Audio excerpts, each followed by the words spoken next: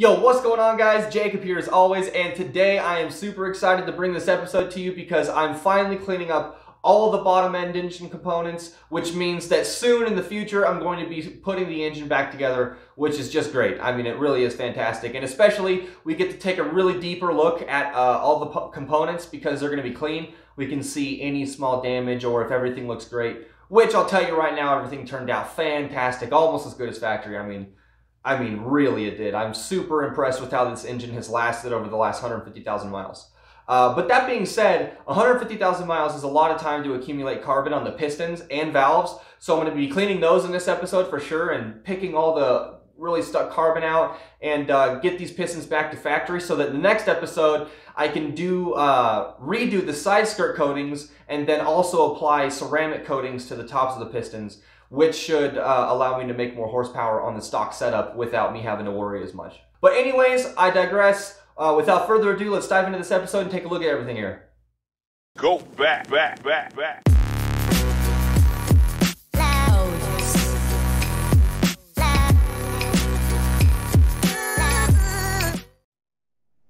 So before we dive deep into looking at all the cleaning for everything, uh, first let's take a look at all the components that need to be cleaned, and specifically we're going to look pretty close here at the pistons. So you can see that the here is cylinder number one. I have the piston rings removed from it, but I don't have the rings removed from anything else because I didn't have the tool uh, that was right for taking it apart. And I actually don't want these rings to fall apart, but that's a whole long story. Anyways, long story short, only cylinder one hasn't removed for this picture, and uh, you can see this is 150,000 uh, miles worth of carbon buildup on the tops and sides of the pistons.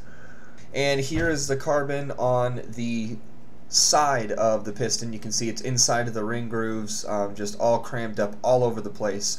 And you can also see here that the side skirt uh, coating is worn off as well.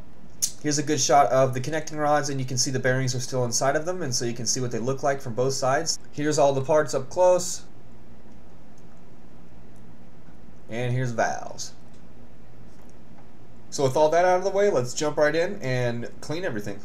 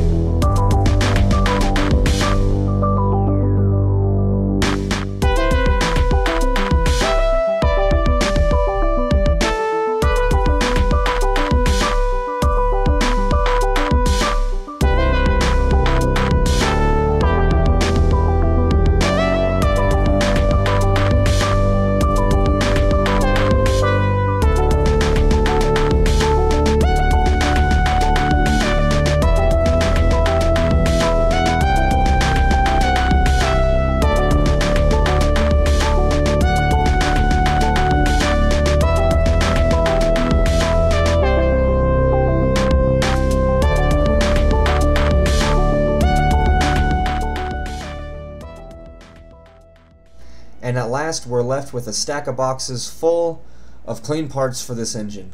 Uh, let me tell you something, this is extremely satisfying for me because this was one of the bigger hurdles that I knew was in front of me, and at least I've got a portion of that out of the way. I've still got some more engine component cleaning to do in front of me, but uh, you know, this is one of the big ones with all the carbon parts uh, with the exception of the head. So, uh, looking forward to the rest of the build. In the next episode coming up, we're going to be removing the old coatings from the pistons on the skirts, and we're going to be applying new ones along with a top coat of ceramic coating on the top of the piston. Um, stay tuned for that. That's coming up in the next episode. Be sure to subscribe if you want to see it. Um, also, if you guys are getting value out of this content, leave a like and also consider leaving me a message letting me know what you like, what you don't like, or what you want to see. If there's anything that I missed that maybe that uh, you want to know about with this engine, because I've got this whole thing apart and this is the best time to ask these questions. No question is a dumb question. But anyways, yeah, thanks for watching guys and stay tuned for the next episodes. I'll see you next time. Have a good one.